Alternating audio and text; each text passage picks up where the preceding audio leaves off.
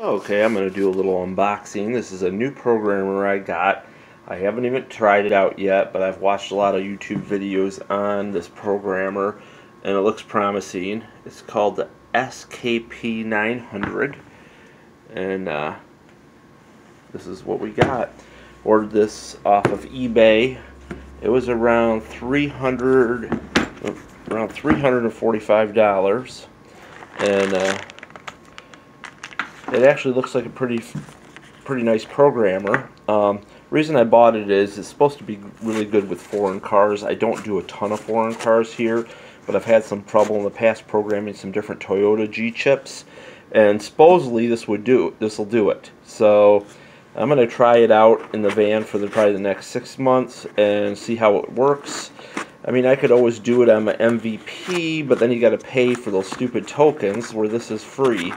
So uh, I figured I'd give it a try, try to save some money. Um, pretty much all the dongles, they're they're they're a pretty nice dongle. They're uh, made real good, real high quality.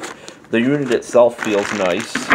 Um, it is a fully updatable unit. It has a, um, a micro uh, plug in there, and it comes with a cable with a OSB, or a, I think that's uh, a USB port so you could plug this in, you go to the website, uh, and you could update it. This did come with version 5.0, and um, so it is fully updated when I got it.